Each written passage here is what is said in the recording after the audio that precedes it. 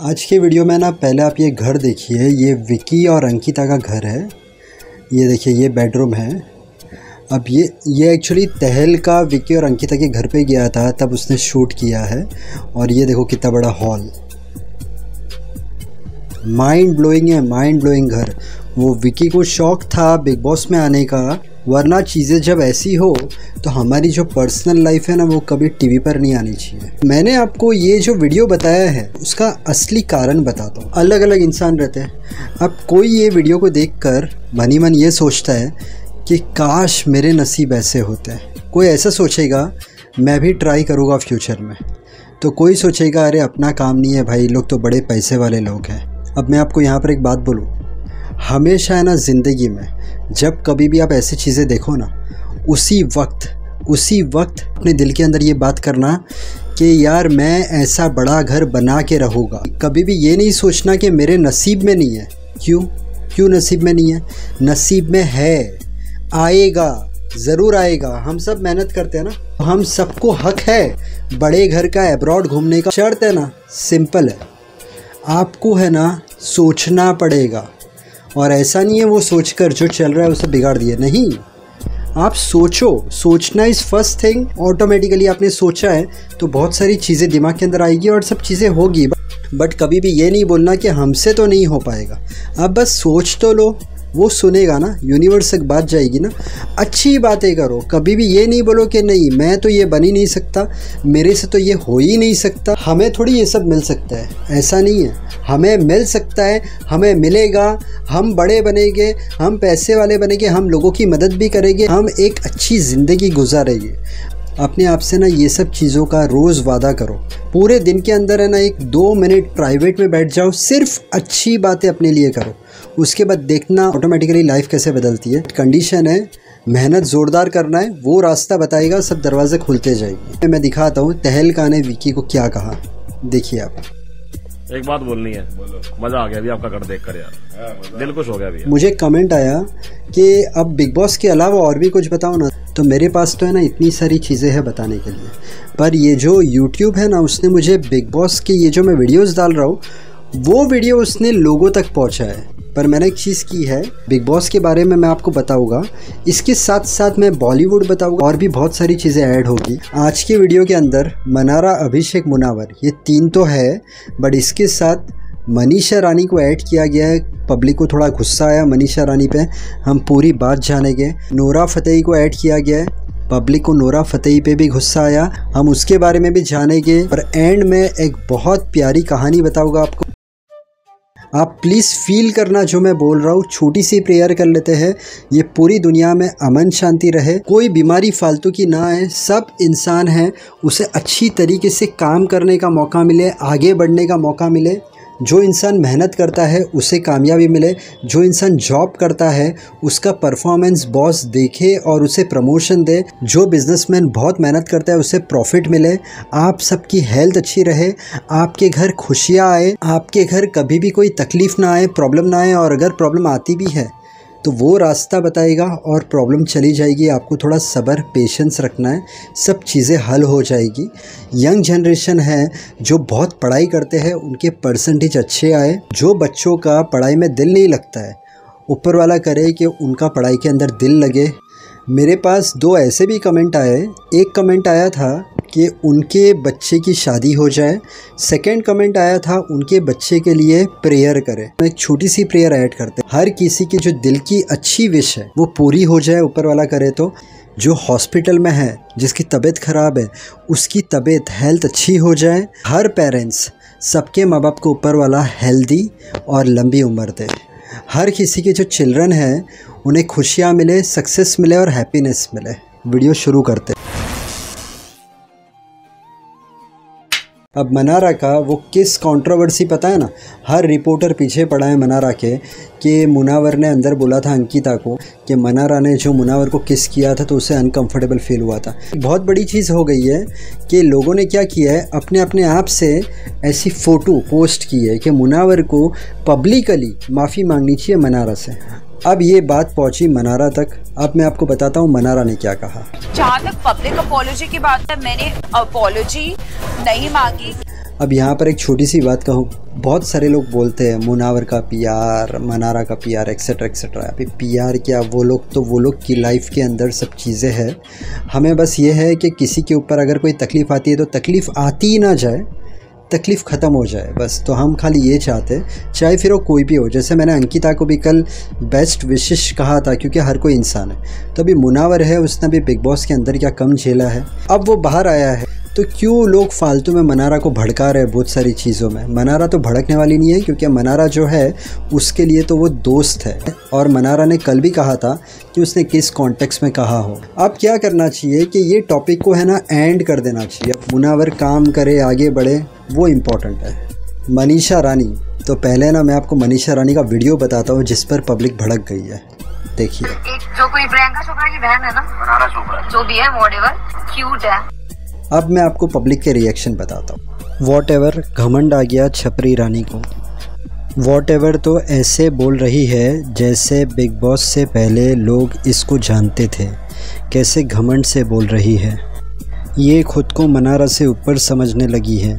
चोपड़ा से ऊपर नहीं जा सकती। मनीषा रानी, ज़्यादा उड़ो मत। She is extraordinary, sophisticated, intelligent, beautiful and very very real personality of Big Boss 17. She is not whatever. Manisha Rani, you should correct your words. I am your big fan too like Manara Chopra. कुछ प्यारी नहीं है मनीषा नागिन है नागिन घमंड आ गया है इसको जो भी है वॉट अब ये मनीषा क्या समझने लगी है अपने आप को अब मनीषा रानी है ना she is also very sweet बहुत अच्छी लड़की है, दिल की लड़की है। हमेशा कहता हूँ, ये जो हमारी ज़ुबान रहती है ना, उससे हम पूरी दुनिया जीत सकते हैं और उसी से हम बर्बाद हो सकते हैं। अब यहाँ पर क्या होता है फ़्लो फ़्लो में वो कोई ऐसा नहीं कि मतलब मुझे घमंड आ गया है वॉट एवर वो क्या है कि कभी कभी क्या रहता है, हमारे दिमाग के अंदर 500 चीज़ चलती है। अब उसके अंदर हम क्या करते हैं फ़्लो फ़्लो में ऐसी चीज़ बोल डालते हैं, फिर उसका बतंगड़ बनता है। तो इसमें अभी मनीषा रानी ने एक चीज़ बोल डाली, उससे इतना बहुत हेट देने की जगह पर। ठीक है, एक चीज़ हो गई हो गई लेट गो करो। बहुत सारी चीज़ें हैं जो मनीषा रानी की अच्छी भी है। अब नूरा फतेही का मैं आपको पूरा कंप्लीट वीडियो नहीं बताऊँगा। मैं आपको एक छोटी सी क्लिप दिखाता हूँ, वो क्लिप आप देखिए पहले। अब मैं आपको पहले पब्लिक रिएक्शन दिखाता हूँ। इसके अलावा कुछ आता है इसको। She thinks this is international dance show. I get they want to bring in other cultures or make people accept or normalize certain modern ways of living. But when you on a show where there are kids and families watching, you should draw some line. You giving the wrong inspiration to the coming generation. जब भी Nora dance करती है तब vulgar लगती है यही एक काम आता है बिचारी को क्या यार डांस के नाम पे कुछ भी? इसे दुनिया फैमिली शो बोलती है। ये लास्ट कमेंट लेते हैं। If I am not wrong this is kids show why she is doing such in decent acts on stage in front of kids is there no censor board for such things अब देखो comment में भी था और मैं भी बोलता हूँ। एक चीज़ है ओ टी टी है ना ओ टी टी लोग मोबाइल पे देखते हैं। अब ये जो नूरा फतेही का शो है ना, ये टीवी पर आता है। फैमिली साथ में बैठी है और देख रही है।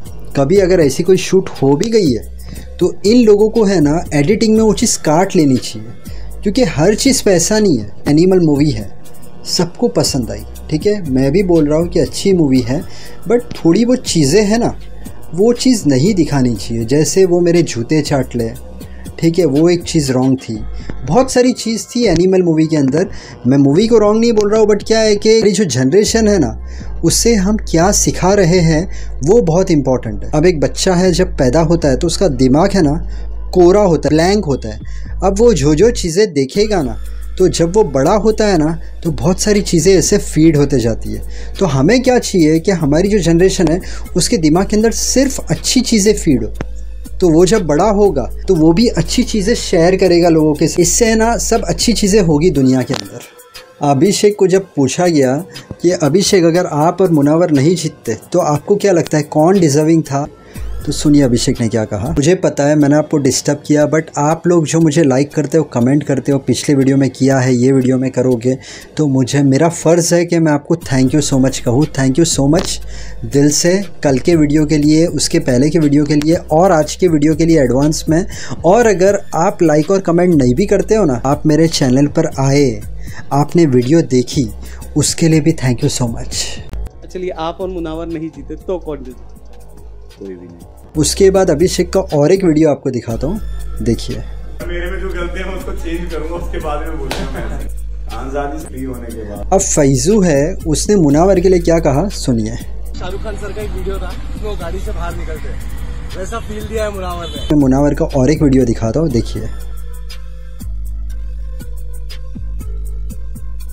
ये भी मैंने वीडियो दिखाया ना तो सिर्फ़ इसलिए दिखाया है कि वो कैसे सिक्योरिटी गार्ड के साथ भी मुनावर खड़ा है। तो ऐसा नहीं है कि मतलब पी आर में मुनावर का अच्छा दिखाता हो।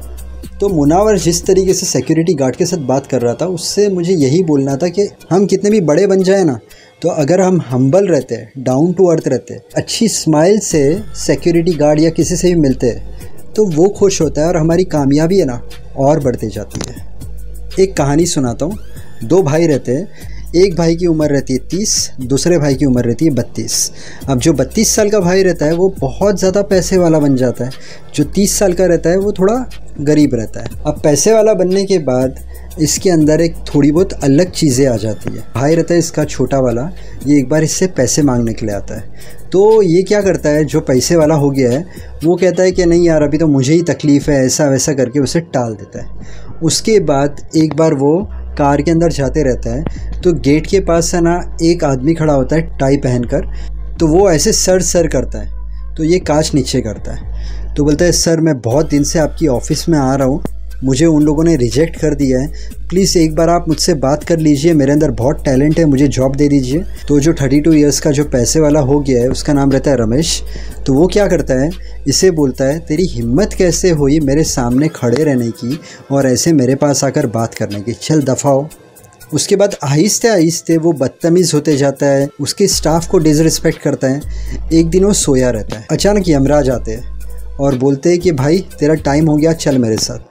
तो वो बोलता है, क्या टाइम हो गया? मैंने तो कितने सारे प्लान्स बनाए हैं मेरी ज़िंदगी के। मुझे नहीं आना है तुम्हारे साथ। यमराज बोलते हैं, तेरा टाइम हो गया, चल।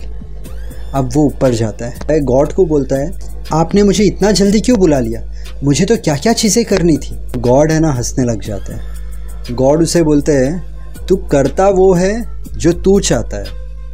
होता वो है जो मैं चाहता हूँ। तू कर वो जो मैं चाहता हूँ तो होगा वो जो तू चाहता है। मतलब समझ में आया? फिर से एक बार रिपीट करता हूँ। तू करता वो है जो तू चाहता है, होता वो है जो मैं चाहता हूँ। तू कर वो जो मैं चाहता हूँ तो होगा वो जो तू चाहता है। अब वो गॉड को पूछता है मतलब मैं समझा नहीं। गॉड बोलते हैं, मूर्ख इंसान, तू गरीब था, उसके बाद मैंने तुझे पैसे वाला बनाया। पैसे वाला बनने के बाद तेरे अंदर घमंड कितना आ गया? तू अपने भाई को पैसा नहीं दे रहा है। उसके बाद तू लोगों के साथ बदतमीज़ी से बात कर रहा है। देख, मैंने एक मिनट में तुझे ऊपर बुला लिया ना तो वो भगवान के पास माफ़ी मांगने लग जाता है कि नहीं नहीं, मुझे माफ़ कर दो, मेरे से बहुत बड़ी गलती हो गई। तो भगवान हँसते ये जो रमेश रहता है, जो पैसे वाला, वो रोते रहता है और अचानक उसकी अलार्म बजती है और वो सपने में से उठ जाता है। और उसे सब चीज़ समझ में आ जाती है और दूसरे ही दिन अपने भाई को बुलाता है। वो एम्प्लॉय को काम देता है, सबके साथ अच्छी तरीके से बात करता है। तो ये कहानी के ज़रिए मुझे सिर्फ़ ये बताना था, आपके पास जब बहुत पैसा है तो हमारी जो फैमिली है उसके अंदर, जो फैमिली के बाहर है, जिसे जेन्यून ज़रूरत है, उन लोगों को, उसके बाद respect down to earth humble तो हमारा जो सक्सेस है ना, वो हमसे कोई छीन नहीं सकता है और हम और कामयाब होते हैं, उम्र भी लंबी होती है। मेहनत करते रहना, ऊपर वाले पर विश्वास रखना, अगर आपका कोई काम नहीं होता है, थोड़ा सब्र पेशेंस काम हो जाएगा। फेल होने से डरना मत, उसमें से कुछ सीखना। हर इंसान जो दिल से मेहनत करता है, माँ बाप को खुश रखता है, सबसे अच्छी तरीके से रहता है उससे कामयाबी ज़रूर मिलती है। पूरे दिन में ट्राई करना छः से आठ गिलास पानी पीने की। इसके अलावा थोड़ा वॉकिंग थोड़ा जॉगिंग थोड़ी एक्सरसाइज कर लेना, इससे आपकी हेल्थ अच्छी रहेगी। वीडियो अच्छा लगे तो वीडियो को लाइक करना, चैनल को सब्सक्राइब करना। Thank you so much God bless and wish you a very happy life